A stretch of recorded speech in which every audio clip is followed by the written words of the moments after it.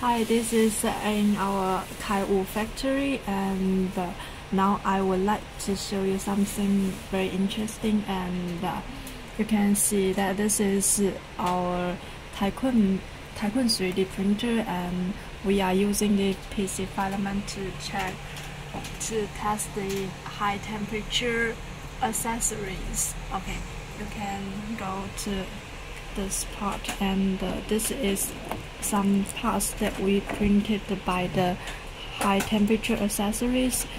It is real detailed but there there's a little stretched yes and about this holder there is kind of break because we don't use the uh, 3D printer enclosure to to help with that.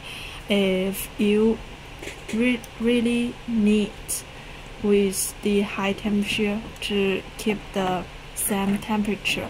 We suggest uh, we suggest you to add an enclosure with that, and of course you have to use the PI build plate to to come with that, so that it can be with the better better first layer with that. Yes. Okay.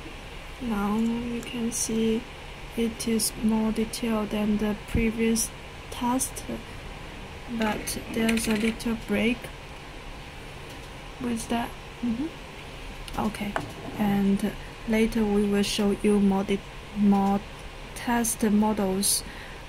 If you have any suggestion with the test models, you can uh, send to our our Facebook or send the send the model to business at kywoo3d.com and we will try to print with that. Okay thank you